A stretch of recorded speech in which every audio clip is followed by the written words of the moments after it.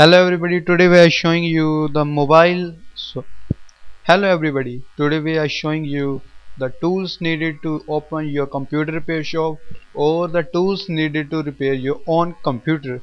So let's begin with that.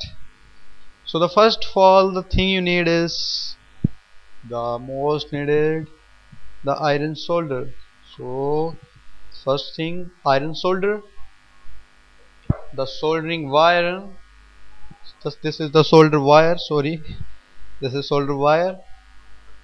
And not just for soldering you must need some components for desoldering. So this is the desoldering wire and this is the desoldering pump. So you need a lot too this is a desoldering pump. And this is the jumper wire. I used it a lot so it is very less. So jumper wire. And this is the sink compound or the heat sink. So you need it lot. Many problems were solved by that only. So the heat sink and probably the screwdrivers to open your computer. These are portable type and small screwdriver. We recommend you to buy the large big screwdriver that are enlarged in uh, length so the meters are over here. The first is the digital meter. You need it a lot while repairing. And this is the digital meter. You need it a lot while repairing. For beep it has nice beep. So for continuity test for the current amperes that are coming from the condenser this you need a lot and we recommend you to buy an additional power supply for testing purpose. You need a lot while testing. So this is additional power supply. We always took this with us. So uh, power supply and an SATA cable. This is also for repairing purpose for testing purpose.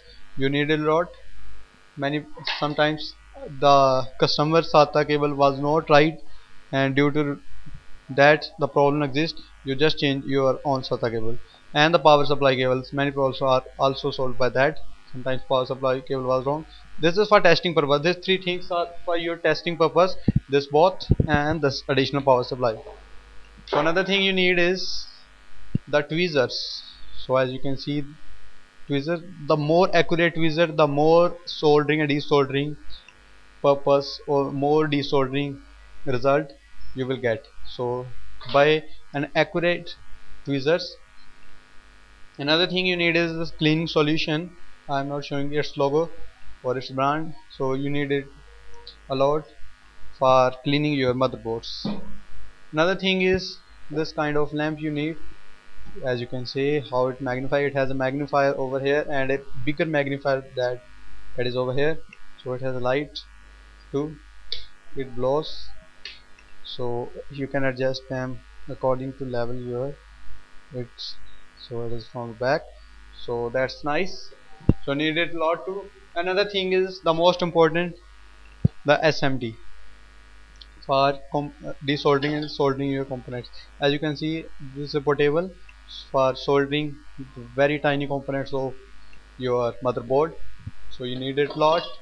Another thing is don't throw I recommend you to not to throw the waste component here and there as I has a RAM there's a weak RAM but I still put it over here. And this is my hard disk cartridge or the card I still have. You need a lot a lot while repairing so don't put throw the waste here and there.